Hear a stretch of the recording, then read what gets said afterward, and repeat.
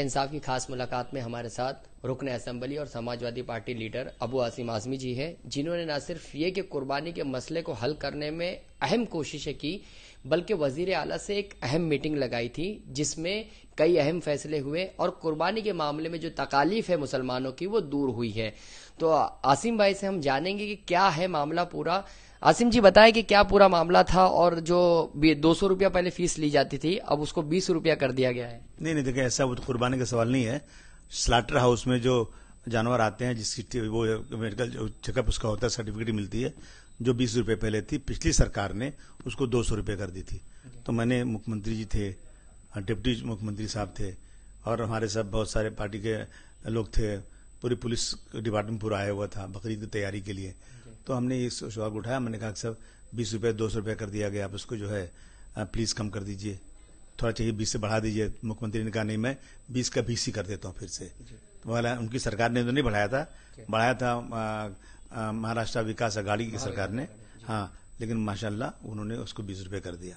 अभी जो पकड़ दकड़ का मामला भी थोड़ा कम नज़र आ रहा है जिस तरीके से यानी आपने मीटिंग ली थी उसमें आपने ये इशू रखा था कि फिरका परस्त तंजीमें जो है विश्व हिंदू परिषद बजरंग दल आरएसएस और दूसरी जो जेली तंजीमें हैं हिंदुओं की वो जो है व्यापारियों को परेशान करती है। लेकिन जब से आपकी मीटिंग हुई है उस तरह के वाकयात कम हुए तो उस पर क्या कहना है? नहीं देखिए ऐसा है कि मैंने सबसे पहले मैंने ये कहा कि किसी को भी गौवंश, गाय और बैल, जिसकी कुर्बानी महाराष्ट्र में मना है, उसको लाने की कोशिश नहीं करना चाहिए, वरना उसी बहाने से लोगों को चांस मिलता है गुंडागर्दी करने का।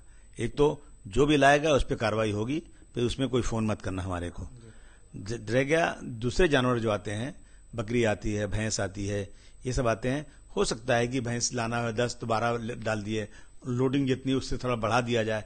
मैंने कहा कि सर, ये ये बकरीद का मौसम है, टाइम है और जानवर जो आते हैं गाड़ियों में तो अगर ज़्यादा जानवर भर देंगे उनकी सींग टूट गई कहीं उनकी चमड़ी कट गई तो उसकी कुर्बानी नहीं होगी।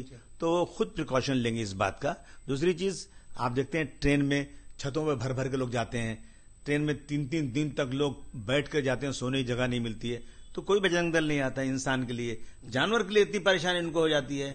तो आप दोनों ने खुला खुला कहा डिप्टी सीएम ने खुला कहा कि आँख थोड़ा बंद करो दो चार जानवर ज़्यादा भी हैं तो उस पर कोई कार्रवाई मत करो। और जानवर चेक करना या कोई भी कार्रवाई करना, ये पुलिस का काम है। कोई भी, किसी भी बजरंग दल या कोई भी संगठन हो, उनको कहीं से भी राइट नहीं होना चाहिए कि वो लोग आगे गाड़ियाँ चेक करें। जिन जिन रास्तों से गाड़ियाँ आती हैं जहाँ जहाँ पे ऐसे वाकत होते हैं, वहाँ पुलिस का पहरा बढ़ा दो, ऐसा उन्होंने कहा। मैं समझता हूँ कि इसका असर ज़रूर हुआ होगा। नहीं, जिस तरीके से बात की जा रही है कि जानवरों की जब्ती हुई है कुर्रा से, जोगेश्वरी से, बांद्रा से, उस सिलसिले में भी आपने नोटिस लेते हुए न सिर्फ़ ये कि कार्रवाई करने के जो है वो अहकाम जारी करवाए थे पुलिस के ज़रिए, बीएमसी के ज़रिए, लेकिन कुछ ऐसे लोग हैं जो उस मामले में भी क्रेडिट ले रहे हैं आपके सबक कारपोरेटर रह चुके हैं कुछ वो क्रेडिट ले रहे हैं कि हम जानवर छुड़ा रहे हैं तो इसमें क्या कहेंगे नहीं नहीं देखिए ऐसा है कि क्रेडिट कोई भी ले काम होना चाहिए। मुझे कोई क्रेडिट लेने की ज़रूरत नहीं है। अगर मैं एमएलए हूँ तो मेरी ज़िम्मेदारी होती है कि मैं जो भी इश्यूज़ है उस पर काम करूँ। अगर उस काम की कोई क्रेडिट लेता है तो ले हमें कोई उससे फ़र्क नहीं पड़ता है। लेकिन ईमानदारी से कोशिश करना चाहिए कि भाई हमारा त्यौहार है या किसी का त्यौहार है हमारी जो ज़िम्मेदारी है हम उसको इंसाफ ईमानदारी के साथ निभाएँ और लोगों को लोगों की तकलीफें दूर करें। तीन रोजा कुर्बानी के दौरान जो हथियारों की नुमाइश करते हैं लोग खून आलूद हथियार लेकर निकलते हैं कपड़े खून आलूद लेके निकलते हैं गोश्त जो है वो खुले में लेके निकलते हैं तो इस सिलसिले में आप मुसलमानों से क्या अपील करेंगे? नहीं नहीं मैं गुजारिश करूँगा देखिए ऐसे ऐसा कोई काम न करें कि किसी फिरका परस्त को कोई चांस मिल जाए।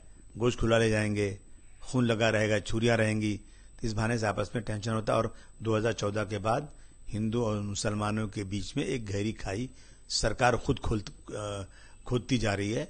आपस में जो है गंगा जमुनी तहजीब खत्म हो रही है। ऐसे में किसी को कोई चांस नहीं देना। अब आप कहें, देखिए, अब ऐसा है कि आप कहेंगे कानून सबके लिए बराबर है, ये बिल्कुल सही बात है। लेकिन आपने बाबरी मस्जिद के फैसले में देखा कि बाबरी मस्जिद में मंदिर नीचे नहीं थी, ये भी कह दिया गया। जो 1949 की रात में वहाँ पे मूर्ति रख दी गई ये क्रिमिनल एक्टिविटी थी। 92 में बाबरी मस्जिद डिमालिश की गई ये क्रिमिनल एक्टिविटी थी। सब जज ने कहा लेकिन जज ने क्या कहा मेजोरिटी चाहती है। देश चाहता है कि यहाँ मंदिर बने इसलिए मंदिर। अब मेजोरिटी अगर मेजोरिटी फैसला होने लगे तो हम कहाँ जाएँगे? इसलिए हम मेजोरिटी को कोई ऐसा चांस न देने पाए कि संविधान ये कहता है कि एक करोड़ लोग एक तरफ़ हैं और मैं अकेला हूँ अगर मैं सही हूँ तो मेरे मेरे फेवर में फैसला होना ही चाहिए। परंतु नहीं हो रहा है ये। ये नहीं हो रहा है इसलिए हमें बहुत ही एहतियात करना चाहिए।